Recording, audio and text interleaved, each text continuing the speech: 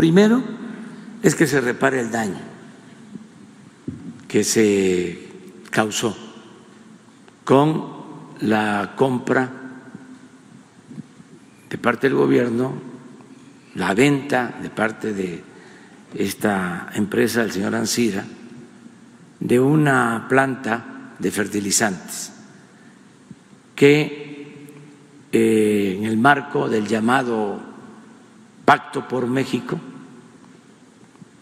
se compró a un sobreprecio que se calcula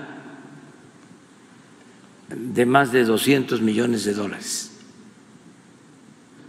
Pero no solo compran la planta, que estaba inservible, sino que destinan 500 millones de dólares adicionales para repararla. Estamos hablando de un quebranto de cerca de mil millones de dólares en esa operación. O sea, lo que costaba realmente la planta, más el sobreprecio, más lo que destinaron para repararla.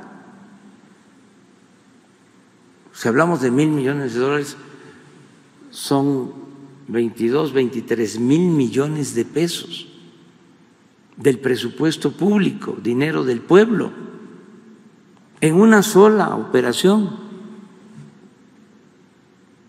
Ahora, ahí estamos este, echando a andar la planta, porque ¿qué hacemos? ¿La vendemos? ¿Cuánto nos dan? Pues muy poco.